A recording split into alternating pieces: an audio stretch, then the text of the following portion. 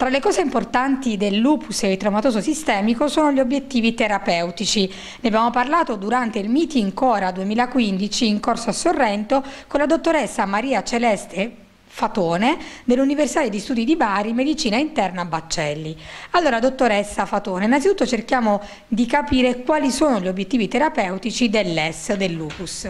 Ottenere una remissione completa nel lupus è al momento un'utopia, nonostante diversi presidi terapeutici, quindi è bene accontentarsi di ottenere almeno una, uh, un periodo di malattia um, in cui non si utilizzino i corticosteroidi, e, uh, che ben sappiamo sono farmaci farmaci carichi di notevoli effetti collaterali.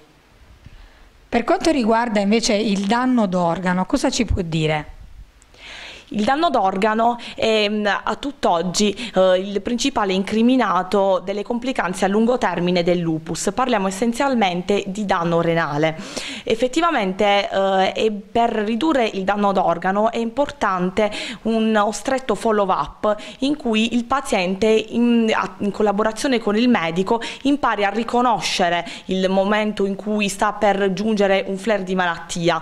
In particolare eh, il danno renale renale risulta essere, assieme all'aterosclerosi, eh, la complicanza più pericolosa del lupus. E, ehm, eh, I farmaci biologici, in particolare il belimumab, si sono rivelati fallimentari negli ultimi studi nel ridurre il eh, flare nefritico. Tuttavia, poiché riescono a ridurre la, il titolo degli anti-DS-DNA, eh, si presume che riescano a prevenire l'insorgenza del danno renale se stesso.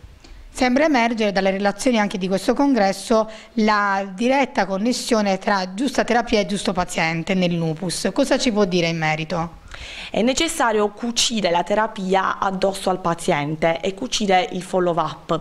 Effettivamente una donna molto giovane non può assumere per un lungo periodo eh, farmaci corticosteroidei o immunosoppressori perché sarebbe a scapito del suo potenziale ehm, di fertilità e per questo proposito è bene impostare una terapia con farmaco biologico che permetta di risparmiare sia i corticosteroidi che gli immunosoppressori.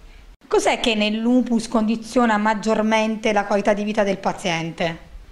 Il lupus è una patologia in cui si embricano diversi sintomi, tra cui molto spesso sintomi soggettivi, perché se nell'artrite reumatoide il paziente presenta ha un nemico di fronte a sé, cioè il danno articolare, spesso il nemico nel lupus è più vago, quindi il lupus si presenta spesso con sintomi quali astenia, eh, fatigue, eh, intensa spossatezza, soprattutto in pazienti giovani e attivi dal punto di vista lavorativo, che dovrebbero condurre una vita quotidiana normale. E, ehm, eh, a questo proposito infatti eh, i farmaci biologici riescono a dare uno sprint a tali pazienti riducendo questi sintomi soggettivi che spesso paradossalmente sono aggravati dalle terapie immunosoppressive.